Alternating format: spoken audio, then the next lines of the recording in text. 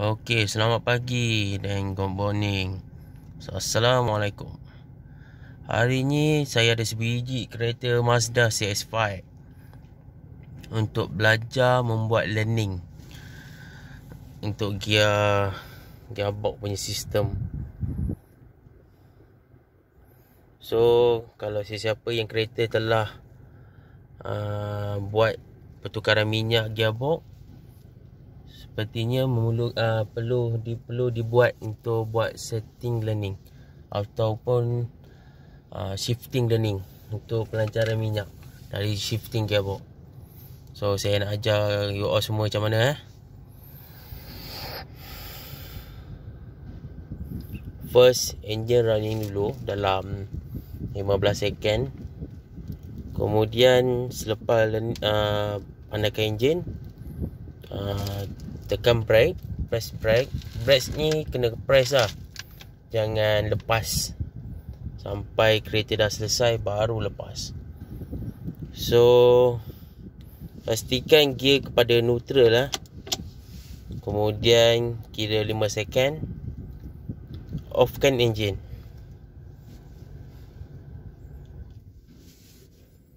Okey, selepas off engine oh gear keadaan neutral.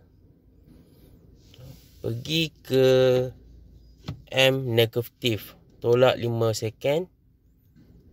Tolak kemudian uh, ACC on. ACC on eh. Okey.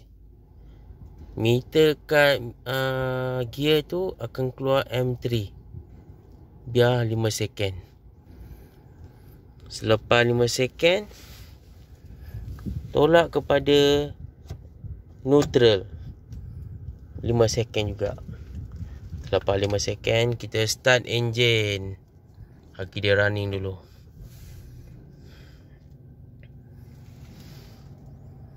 Okay dia running.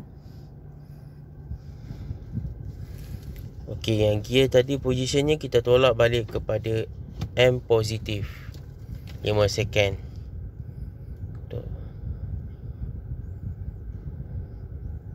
Okey, selepas tolak 5 second Tolak kepada M negatif 5 second. Kemudian gearnya akan jadi M. RPM akan naik 1000 ke atas. Sampai dia blinking. Ini untuk learning gearbox ah setiap tukar minyak gearbox perlu dibuat learning untuk pertukaran gear. Ataupun selepas pun buat uh, gearbox filter. Sebaik sebaik mungkin lah. Untuk menjaga kita punya shifter simptom uh, gearbox kita lah. Ok dia dah blinking eh. Ok selepas dia dah blinking kita masuk kepada M P R. Kita masuk P parking lah Off engine. Lepas brake eh. Janji brake ni dah lepas semua tu Kena lepas lah. Janji kena tekan jugalah. Jangan tak tekan Takut nanti tak jadi. So Kereta okey dah. Okey sekian terima kasih